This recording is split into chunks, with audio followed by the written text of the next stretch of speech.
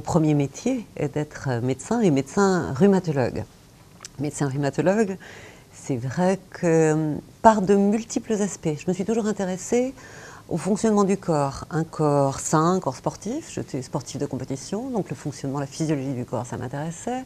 Le corps souffrant, le corps diminué, le corps à réparer, ça c'était mon, mon, désir d'être rhumatologue. Et puis vous le savez, j'ai été astronaute, donc cette chance de, de vivre un corps libéré des contraintes.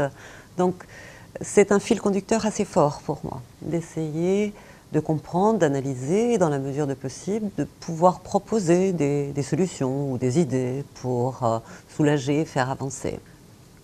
Le rhumatisme, c'est encore quelque chose qui, qui, a une signification générique un petit peu floue. On a tous un peu rhumatisme, un peu mal. Ce dont on parle là, c'est autre chose. Ce sont des maladies qui peuvent être diagnostiquées très tôt, dont on peut modifier l'évolution, qui peuvent maintenant avoir des traitements, qui, si elles ne sont pas reconnues, pas traitées, pas suivies, vont avoir des conséquences invalidantes euh, importantes. Et ça, très peu de gens sont au courant.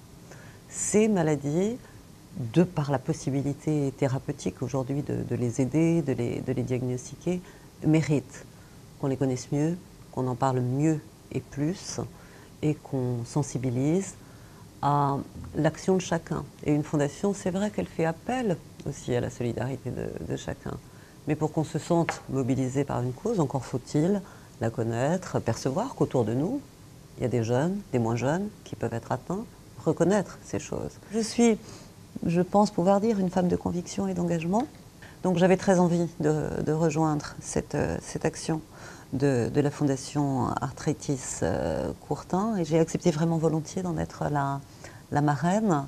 Une marraine, elle est là pour dire qu'elle a à cœur d'être euh, présent en support, à relayer des, messages.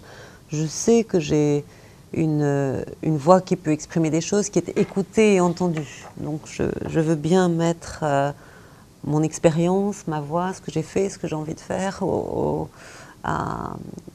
service de, cela, mais je le fais pour que euh, donner, euh, disons, une, une, impulsion, une prise de conscience. Et moi, je trouve que cet engagement de, de personnes physiques, quelle que soit leur origine, pour faire en sorte de proposer des, solutions, d'être solidaires je dirais, dans la, souffrance et la maladie. C'est quelque chose euh, dont je pense que chacun d'entre nous y est concerné.